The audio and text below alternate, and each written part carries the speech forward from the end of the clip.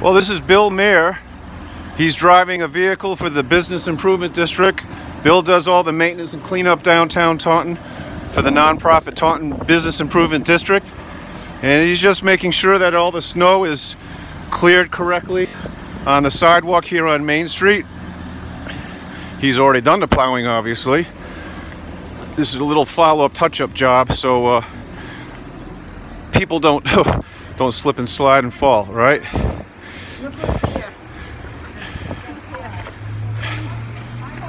Yeah, here he comes.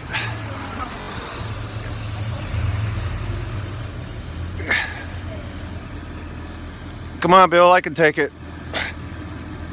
Let's see how close he gets. He runs over the biz guy here. He's getting pretty close. I think I'll move.